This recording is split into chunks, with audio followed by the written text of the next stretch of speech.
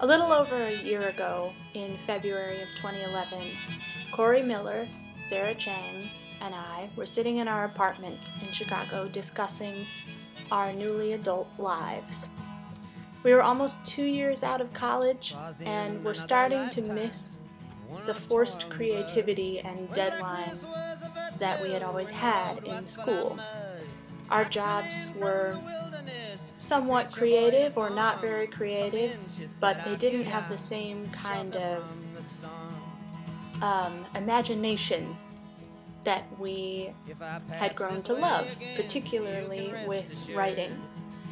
So we talked about starting a magazine, and I had been working on a couple of blogs for a little over a year.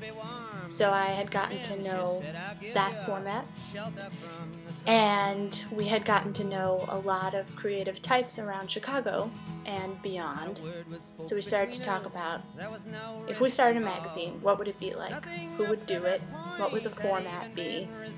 And eventually, in a, about a month, we had a staff of about 15 people who were interested in doing it, and we had come, at, come up with a format that we ended up using, which is that each month we all vote on a theme, and everybody makes something with that theme in mind.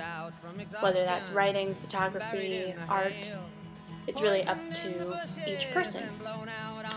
Our first issue came out in April of 2011. The theme was Staying Warm.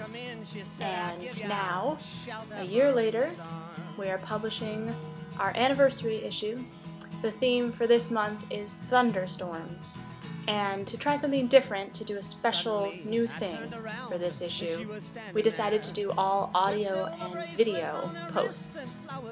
So we've gotten songs, animation, radio plays, recipe, cooking show style posts, and a couple of other things that we found that we didn't make but curated. So, this is the issue. I hope you like it. You can read through our old issues in our archive and enjoy.